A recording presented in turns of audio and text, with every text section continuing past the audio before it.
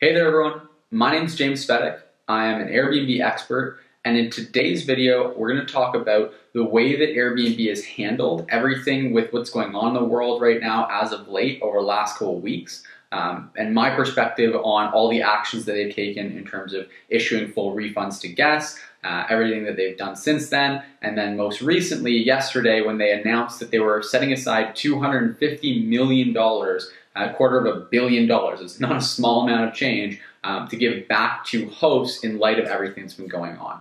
So the first thing I want to talk about is just talk about the issue and share my perspective on everything from a public health and safety perspective because that's sort of one side of the equation here. The next thing we want to talk about is looking at this from a business point of view. And what does this mean for us as hosts? Should we keep using Airbnb? Should we try to diversify into other platforms? And how is Airbnb done from a business perspective? Obviously, this is just going to be my opinion. And then last, I just want to share my overall thoughts on everything. Um, and again, just touch on whether or not we as hosts should be happy with Airbnb or whether I think that we should move away onto different platforms. So to start with, let's look at this from a public health and safety perspective. Now, as Brian Chesky announced uh, when he went live on video the other day there, um, they Airbnb as a company very much looked at their decision to issue full refunds to guests from a public health and safety perspective more so than an actual business perspective. Uh, now, do I believe that? Yes, I actually do. Because honestly, if you look at it, this is a really challenging time. And this is a black swan event that has uh, actually impacted the tourism industry in a totally, totally unprecedented way. Like never before in history have we seen tourism go to these kind of lows where borders are actually shut down. And so naturally, a company like Airbnb is going to be very, very heavily impacted by this kind of an event. And so the easy business perspective thing to do for Airbnb in a time like this would be to hoard their cash, would be to hold on for the ride of their lives and to hold on to all the money that they had gotten from all the guests. Now, what they did was actually not that. And now I realize that there was a little bit of shift here and I want to touch on that. But what Airbnb did was they refunded all of their guests and what that did from a public health and safety perspective is it meant that people were no longer incentivized to travel. Because ultimately, if they had left it up to hosts, a number of hosts would have issued refunds and a number of hosts would not have issued refunds. Uh, and for those hosts that did not issue refunds, those guests would then have an incentive in place for them to travel and therefore spread more and more of what's going around. And so that becomes a real health and safety issue because people are going to have the mindset of, well, you know, especially when this was just getting started and we didn't know the extent to which this is gonna this is gonna escalate to. Um, guests are going to have a perspective. Well, you know, if I can't get my money back, then I might as well just risk it and I'll go and, and go on the trip anyway. Uh, I know a lot of people would have thought that way, and so having that incentive structure in place to incentivize people essentially to travel is a really dangerous thing to do. And now, I realize as well that in the beginning, when they first uh, issued these refunds, they weren't actually refunding guests for their service fees. And that was something that Airbnb was clearly doing to set aside cash. Now, that's a natural decision to make to keep the business alive because like we said you know if the business dies then airbnb is going to die and everything everything falls down so we as hosts are no better off if that happens uh, but they did come around on this because obviously, if they're going to be having their hosts lose out, then they need to be sharing in those losses. So I think that was a very smart thing for them to do to then start refunding all the service fees as well, uh, because there's no reason that they should be able to hold on to their money while hosts are losing out on their on their money. Um, so that's everything from a public health and safety perspective. Now let's look at it from a business perspective, from the eyes of Airbnb and from the eyes of us as hosts. Now, as a host, our business is pretty simple. Um, our business is our customer is the guest, right? Our end customer is the guest. And in times like this, it's really, really important for, and really overall at any time, it's important for a business owner to put their guest, their, their customer first and foremost.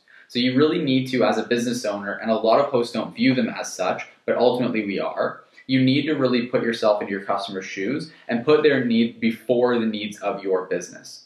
And that's a really tough thing to do. Now, ultimately, what this means in a situation like this is issuing a refund to your guests because you have to give them a refund. If you think about the companies that succeed and excel long term, if you had any travel booked and you were not able to get a refund on that travel, I'm sure that you would be equally upset about that. You know, if you put yourself into that perspective and you think about it, okay, if I had flights booked and I had hotels booked and I had a car rental booked, and now I cannot, under government order, I cannot go and, and actually fill on that. There's no no control I have, no say in the matter, and then the company is refusing to issue me a refund.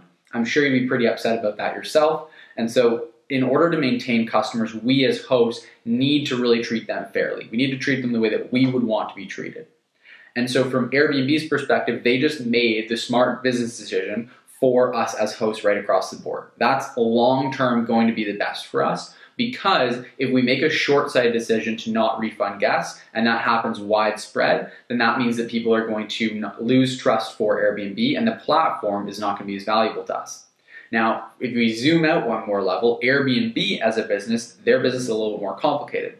They've got two different customers. They've got their guests, who ultimately they did right by there. And they've also got their customers who are us, are the host. You know, if we don't host our space, then there is no Airbnb, there is no business. And so they need to really put our needs first and treat us as, as being a priority over their business. Now, obviously our businesses are very interconnected, but we are a customer of theirs, and so they need to do right by us. And that's why I think that with the $250 million uh, relief fund they've put together, where they're going to be giving giving money back to hosts, I think that that makes a lot of sense. I think that's a very, very smart business decision. And I think that had they not done that, I wouldn't be in line with the way that they were acting as a company because I think that it's really important for any business to put their customers first. And up until they made that decision, Airbnb was not doing that on both fronts. They were doing that for the guests, but not for the host. And so ultimately, I think that that was a really bad call, but that they did actually uh, actually remedy that when they recently announced, like I said, that they're going to be putting $250 million aside to give back to hosts who, uh, who have lost money because of all the cancellations.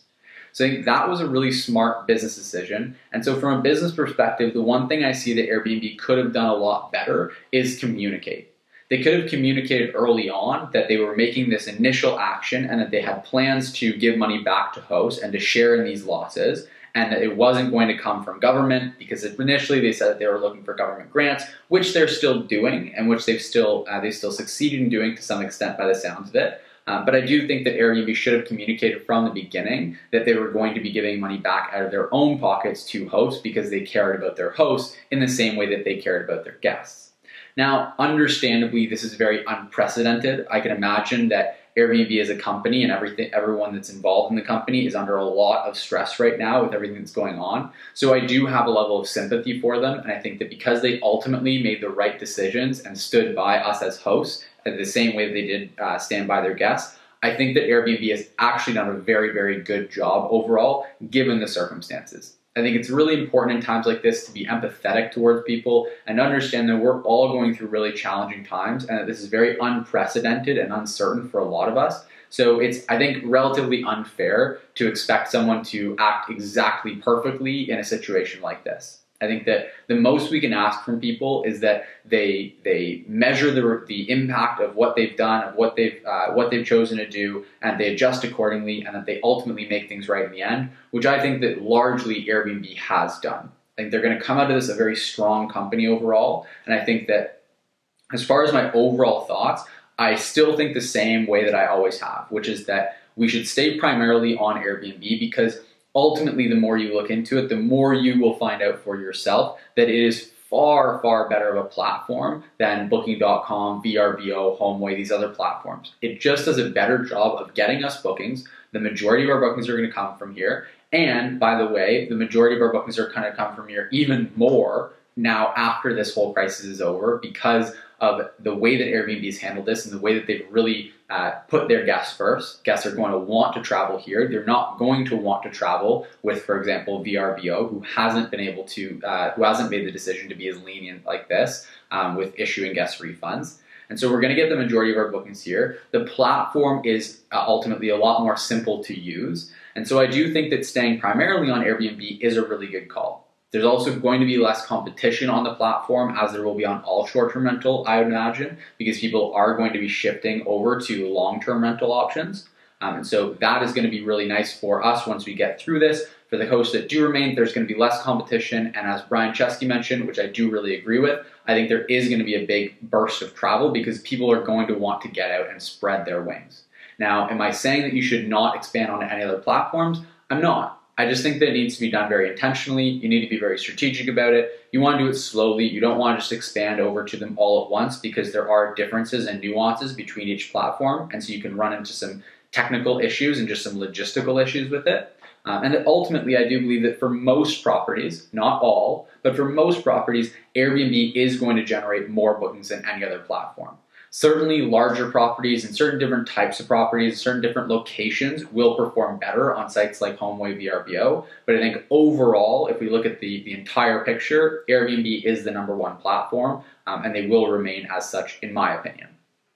So, my thoughts is that Airbnb has done actually a really good job, and that we as hosts, there's a lot of things that we can do as well to weather this storm effectively. And Airbnb's relief fund is one really big part of that that helps out tremendously. Um, so if you want to learn more about Airbnb, then please do subscribe to this channel. Uh, I share uh, videos every week. I share two videos a week, uh, just talking about some strategies around managing properties on Airbnb, hosting your own space on Airbnb, uh, and just all kinds of different tips and tricks to perform exceptionally well on Airbnb. Um, if you haven't checked it out already, I also have a free training that I've linked below on how to get started with Airbnb, or if you're already hosting, it'll show you how to become a top performer and really host with a lot more ease. Um, now I know this is a, a, weird time to be doing something like that because Airbnb is a really uh, a really choppy business to be in right now. But ultimately, if we have the right skills as hosts and we have the right strategies, then we can perform a lot better and minimize our losses in this unprecedented time, and we can come out well positioned to perform exceptionally well in the long run. Because the reality is, like Brian mentioned as well, uh, this storm will pass and when it does, we're going to have a huge opportunity at the other side of it. And being prepared for that is going to be really, really valuable. So if you want to take this time to prepare, to brush up on your skills, to learn everything you need to learn to really excel once everything is over with all this stuff, the craziness going on in the world right now, then just click the link below. I've included in the description, um, and you can check out that free training as well. I'm also going to leave a link to Airbnb's official uh, response page to everything that's going on in the world. Um, and that's going to be linked below. So you can check that out to learn more about best practices around cleaning your property, uh, different strategies that we've also talked about in other videos about how you can perform well uh, and stay keep your business alive. Airbnb has now released official recommendations on things that you can do to stimulate your listing, get some longer term bookings in there. So I'm going to link to all that down below as well. Um, and until the next video, happy hosting. Let's keep on weathering this storm together and come out the other side stronger.